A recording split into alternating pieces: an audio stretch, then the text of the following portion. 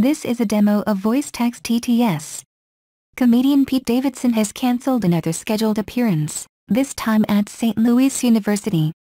The Saturday Night Live star was supposed to show up on campus, but the university announced on its Facebook page on Thursday it would not show up.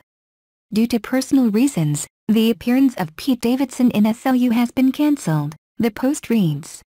Stay tuned for more information about another great speaker.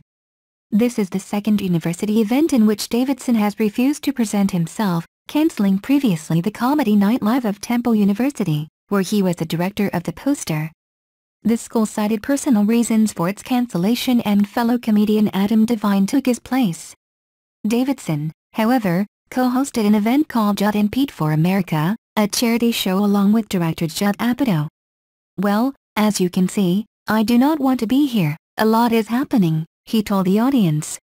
FK my feelings, he said before revealing that he felt like a good guy who just keeps getting hit in the DK after his breakup with Ariana. You're like, oh, that fucking poor kid, I hope he does not kill himself, Davidson added.